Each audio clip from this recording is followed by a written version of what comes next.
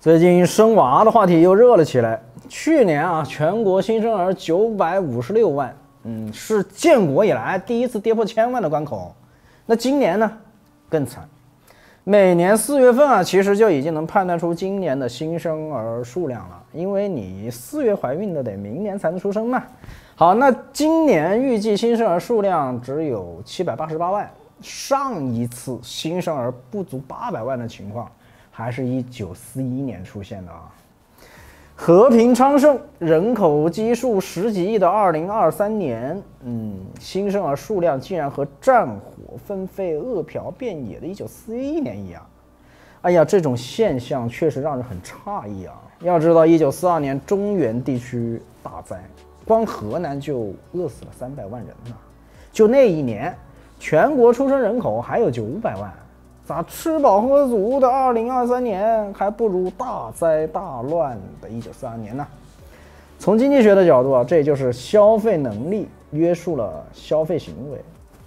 一九四二年虽然兵荒马乱，但生孩子的成本和养育成本都没那么高。说难听点，有碗小米粥就行。尤其那个年代，孩子的夭折率很高的，你还必须多生几个才能保证存活。但现在不一样呀。人的教育水平和认知水平上去了，自身的生活品质有要求了，生养孩子的成本也上去了呀。现在孩子要进口奶粉，啊，要尿不湿，啊，要早教，还他妈要买个房给孩子上户口读书，这些消费需求可都是远高于一九四二年呀。但是现在的年轻人呢，大多又没有这个消费能力呀。用网上老铁的话说。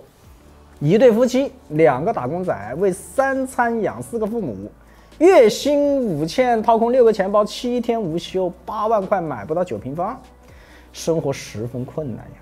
那每个月就固定那两个大子儿，对吧？就算咬牙支付了一套房，剩下的也不多了呀。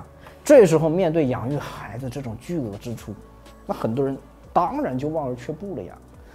哎呀，从数据上看啊，一孩生育率跌到了零点五。也就是说啊，有一半适婚适育的女性连头胎都没生的，这表明大众整体的生育意愿不足啊。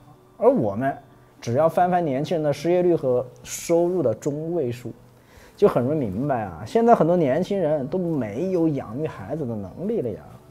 那再往前推一步啊，很多人连结婚的能力都没有了，房价不仅是最好的避孕药。还是最好的恐婚药呀！二零二二年啊，结婚登记是七百六十四万对，也就是创下了三十六年来最低纪录。原本以为今年对吧，疫情过去了，哎，能迎来结婚潮呀，结果今年结婚登记率大跌眼镜啊，前五个月就已经下降了百分之三十啊，连婚都不结了，你还指望人家生娃呀？这不扯犊子吗？而就算结婚了，初婚的年龄也在不断推迟的呀。去年啊，人均初婚年龄已经是到了二十八点六七岁，十年间推迟了四岁。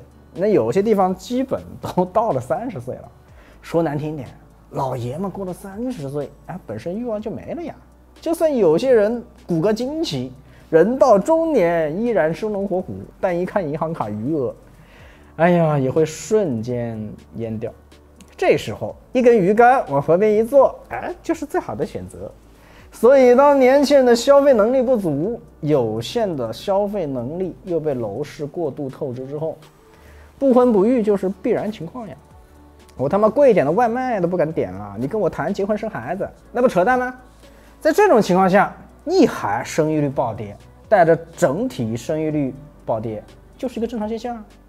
你再鼓励什么二孩、三孩没有意义呀，一都没有，哪里来的二和三呢？生育率暴跌最可怕的地方不是人口减少，说难听点，中国人口就是跌到了十亿、八亿，那还是世界第二呀，不算少的。